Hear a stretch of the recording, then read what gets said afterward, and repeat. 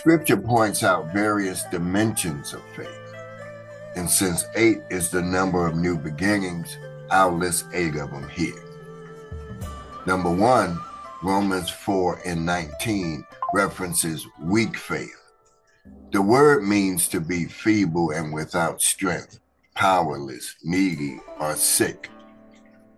Second, Matthew 16 and 8, it refers to little faith, trusting too little. And this is when we are really struggling with doubt.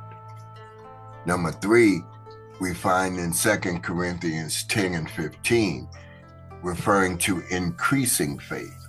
This represents a dimension of faith where growth, growth, excuse me, is evident. Number four, Second Thessalonians 1 and 3. It refers to exceedingly growing faith. Paul commended the Thessalonians for their growing faith. He used the word in the Greek language that means to grow beyond measure. And the Bible tells us that God has given each of us a measure of faith. He expects that we mature from that measure to greater measure of faith, such as rich faith. James chapter 2, verse 5 uh, uh, comments on rich faith, referring to abounding in resources or abundantly supplied or abounding in virtues and possessions. This dimension of faith abounds in the wealth of the kingdom of God.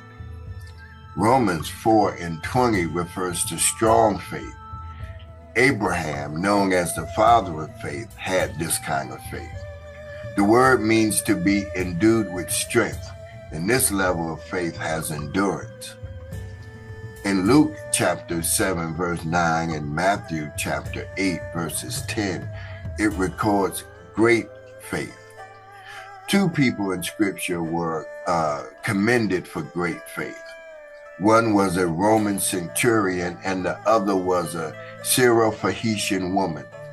They both impressed Jesus with their level of faith on behalf of another. Now, there are two dimensions of great faith. The first refers to great quantity. The second is greatness in intensity, stature, authority, and power. Number eight, we find in James chapter 2, verse 22, referring to perfect faith. The Apostle James described perfect faith as belonging to one who is a doer of the word and exercises faith to change. It means to complete something or to carry through thoroughly, to bring to an end, to accomplish and fulfill.